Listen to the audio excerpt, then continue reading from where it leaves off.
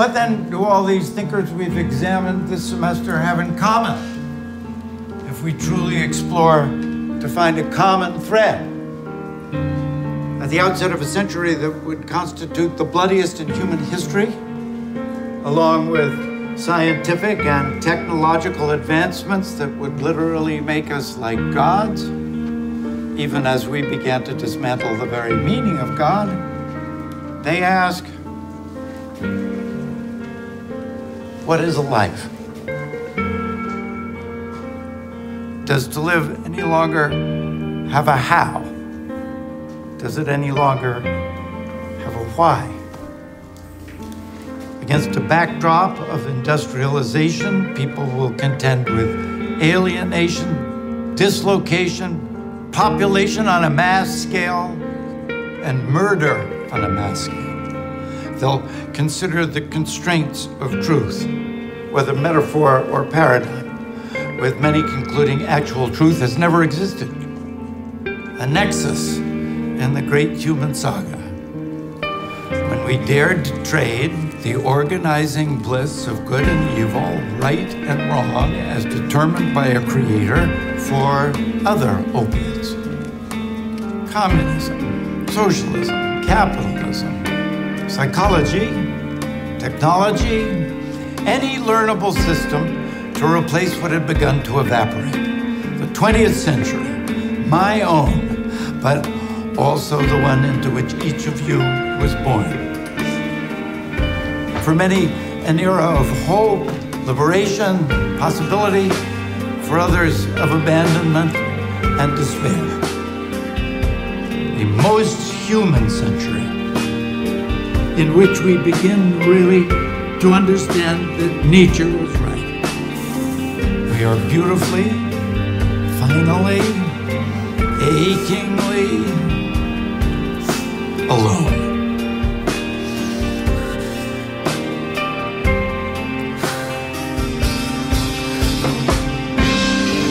In this void, philosophy at its worst becomes self-reflective, linguistic, semantic, relativism, having rendered any discussion of right and wrong, good and evil, to be the quaint concerns of another age. At its most provocative, it asks other questions, those concerned with locating our stranded selves when meaning seems to have died. Nothing less, in short, than why do we live at all and what makes us who we are. They ask, what now? And we're still asking. What will fortify us as another century, your century, commences? Do we abandon finally the search for truths that seem ever more elusive, even silly to some? the ethical, the moral, the good, principles that by definition can never be proved when so much now can be proved? Or is all this finally and forever pointless? Are we done?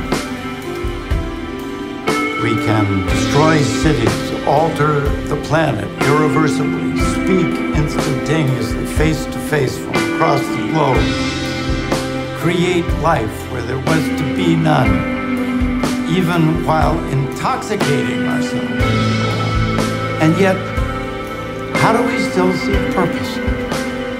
And where do we hope to find it if we're so busy convincing ourselves there needn't be any?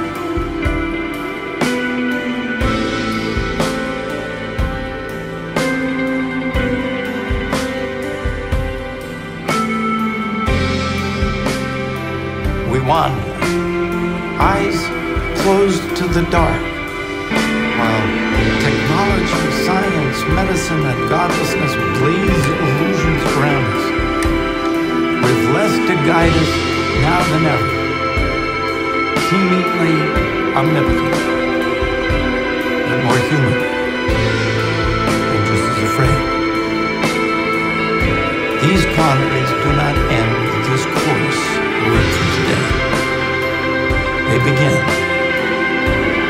I certainly haven't taught these writers for 30 years just so you can drop references to existential thinkers and their antecedents at dinner parties.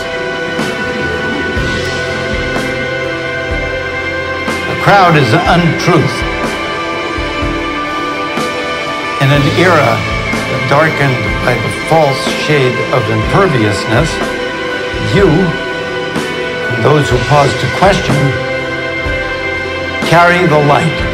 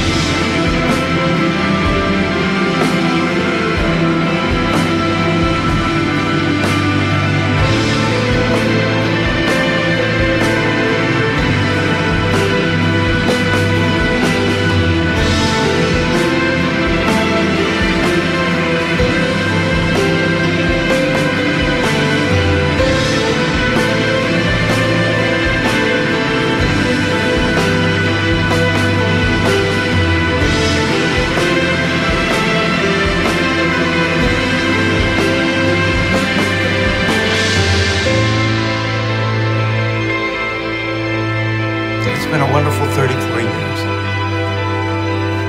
Let's not be strangers. Either to one another or, more importantly, to everything we've learned from one another. May your best years be yet to come.